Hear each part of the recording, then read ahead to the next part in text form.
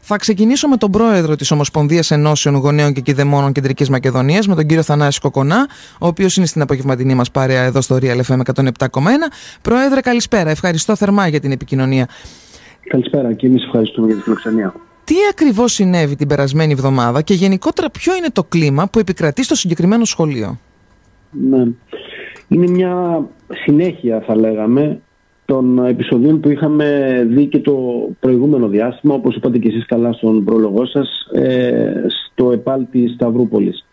Την προηγούμενη εβδομάδα, ε, την ώρα που οι μαθητές προσπαθούσαν να μαζευτούν γύρω στις 8-8 το πρωί να κάνουν μια συνέλευση για να συζητήσουν για τα προβλήματα που αντιμετωπίζουμε στο σχολείο, μια ομάδα 10 με 12 ατόμων, ίσως μαθητών, δεν ξέρουμε, με κουκούλες, με καλυμμένα κάποια πρόσωπα, εμφανίστηκαν εκεί, άρχισαν να ε, βρίζουν, να απειλούν, να προσπαθήσουν να κατεβάσουν ένα πανό που υπήρχε εκεί και ζητούσε ε, μόρφωση και υγεία για το σχολείο και ταυτόχρονα να ε, λένε στον κόσμο, ε, σε εμάς τους γονείς που ήμασταν εκεί με τα παιδιά μας, ότι δεν έχετε καμιά δουλειά εδώ, να φύγετε, είναι δικό μας το σχολείο, εμείς κάνουμε κουμάντο. Ε, κοιτάξτε, είναι μια σειρά από ζητήματα που παρατηρούμε όλο το τελευταίο ε, χρονικό διάστημα. Σας λέω και στο ΕΠΑΛ Σταυρούπολη έγιναν επεισόδια και στο ΕΠΑΛ των αμπελοκήπων. Ε, μια δραστηριότητα πραγματικά που σχετίζεται με τις φασιστικές ομάδες που λειτουργούν εδώ στην Θεσσαλονίκη.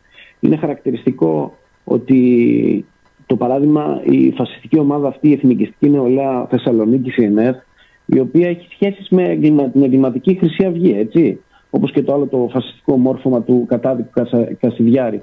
Ε, φιλοξενεί μέσα στους λογαριασμούς της, στα social media, στο Twitter, που διαφημίζει ότι η παρουσία της είναι μέσα στο επάλευός μου.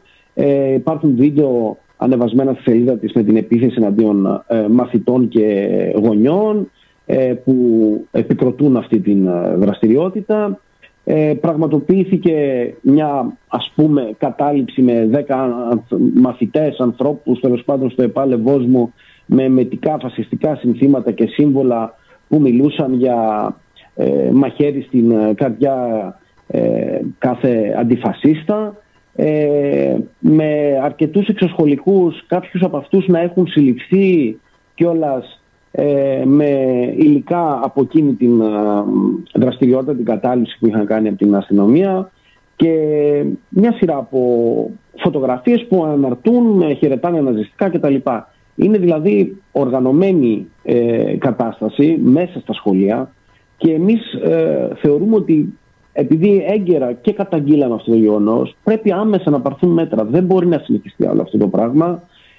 ο εκφοβισμός, η τρομοκρατία οι νταΐδες μέσα στο σχολείο πραγματικά πρέπει να εκλείψουν, να απομακρυνθούν από τη σχολική κοινότητα και είναι κάτι που κανένας γονιός δεν το θέλει αυτό. Δεν θέλει να φοβάται να στείλει το παιδί του στο σχολείο. Και κανένας εκπαιδευτικό, θέλει... φαντάζομαι, κύριε Κοκονά. Εγώ είδα, είδα αυτά τα βίντεο τα οποία είναι σοκαριστικά. Μόνο που βλέπεις ε, εικόνες ξυλοδαρμού στην αυλή ή στους διαδρόμους ενός σχολείου γιατί τα σχολεία ναι, ναι. Ε, χτίστηκαν για άλλους λόγους. Δεν ξέρω αν το έχουμε καταλάβει.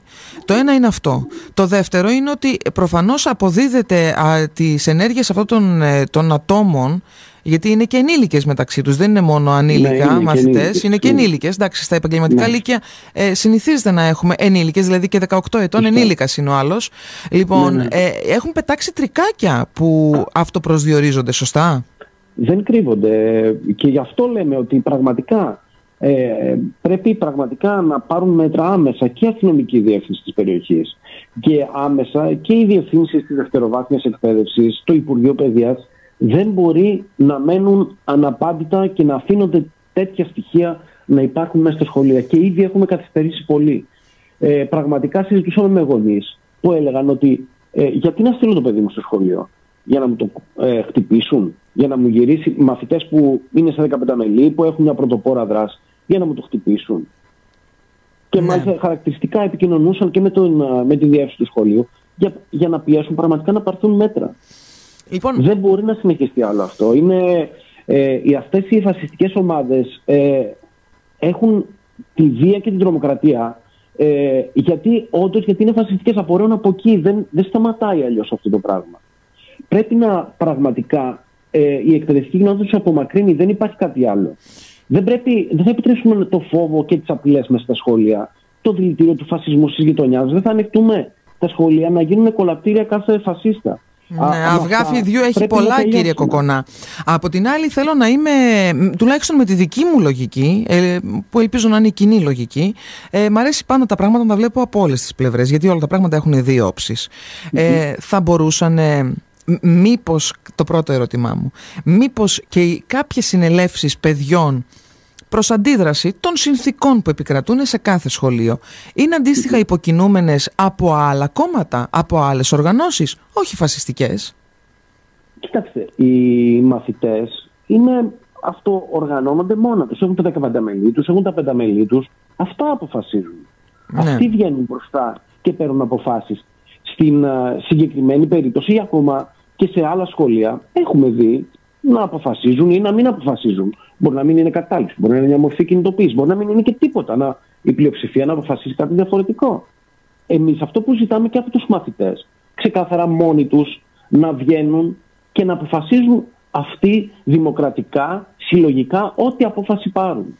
Πείτε μου λίγο τώρα κάτι. Ε, στο επίσης θλιβερό περιστατικό με τον ξυλοδαρμό του πρόσφυγα μαθητή, ναι. έχετε μάθει τι ναι. συνέβη και πότε; Ναι, ναι, συνέβη μία εβδομάδα πριν κλείσουν τα σχολεία για τις διακοπές και είναι πραγματικά τραγικό και που ε, δεν πήρε τη δημοσιότητα που έπρεπε και ξέρετε γιατί δεν πήρε, γιατί ο πατέρας του παιδιού φοβάται. Λογικό δεν είναι, κύριε Κοκονά. Ναι, Βρήκε το ναι. θάρρος να ξεκινήσει από το στρατόπεδο που ζει με ό,τι συνθήκες από τα διαβατά ναι. για να μορφωθεί, ναι, παιδιά, για να μορφωθεί. Το καταλαβαίνετε και εμείς αυτό του το στερήσαμε. Δηλαδή του δόξαμε το δρόμο για κάτι άλλο.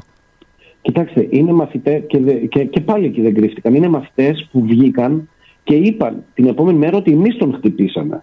Εμείς χτυπήσαμε τον μικρό. Περήφανη, περήφανη. Ναι. Περήφανη γι' αυτό. Εμείς τον χτυπήσαμε και αυτός ο μαθητής τώρα, πρώτη ηλικίου, δεν έρχεται στο σχολείο, μπαίνει αυτόματα στο περιθώριο. Και για πέστε μου, αν αυτός τώρα ο μαθητής αύριο μεθαύριο δεν μπορείς να ενταχθεί μέσα στην κοινωνία, Ποιος πραγματικά θα φταίει; Ε, αυτό λέω κι εγώ. Λοιπόν, κάτι τελευταίο. Έχει ευαισθητοποιηθεί η Δημοτική Αρχή για όλα αυτά που συμβαίνουν στον Εύωσμο και στο επαγγελματικό Λύκειο ή παρακολουθεί τις τραγικές αυτές εικόνες ως απλός θεατής και αναρωτιέται, Ε, τι να κάνω έχουμε, εγώ; Έχουμε επανειλημμένα ζητήσει ε, και να παρέμβει και είναι ευθύνη της και να παρέμβει. Αλλά αν περιμένουμε πρώτα να φτάσει μια καταγγελία, να έρθει μέσα από το Υπουργείο ή να έρθει εντολή, πραγματικά όχι απλά καθυστερούμε και δίνουμε έδαφος σε αυτές τις ομάδες. Όχι, πραγματικά και ενώ υπάρχει και ε, επίσημη ε, ανακοίνωση του ε, Δημοτικού Συμβουλίου που καταδικάζει αυτά τα γεγονότα και δίνει στην, στη διοίκηση του Δήμου ε, έναυσμα για να πάρει μέτρα, ακόμα δεν έχει γίνει τίποτα. Επειδή είδα ότι ο Υπουργός ε, Προστασίας του Πολίτη επέλεξε να επισκεφθεί το τμήμα ασφαλείας και. Την ημέρα που γινόταν τα επεισόδια. Είναι λίγο και. Οξύμορο. 500 μέτρα από το σχολείο. Σας το λέω κάθε μέρα. Το αστυνομικό ναι. τμήμα, τμήμα ασφαλή, αστυνομικό τμήμα, είναι 500 ναι. μέτρα από το επαγγελματικό λύκειο Ευόσμου, κυρίες και κύριοι. Και εκεί ήταν ο Υπουργός και στα 500 μέτρα γινόταν αυτά τα πράγματα που περιγράφουμε τόση ώρα. Ντροπή. Ε, κύριε Κοκονά, σας ευχαριστώ θερμά για την επικοινωνία. Ευχαριστώ πολύ.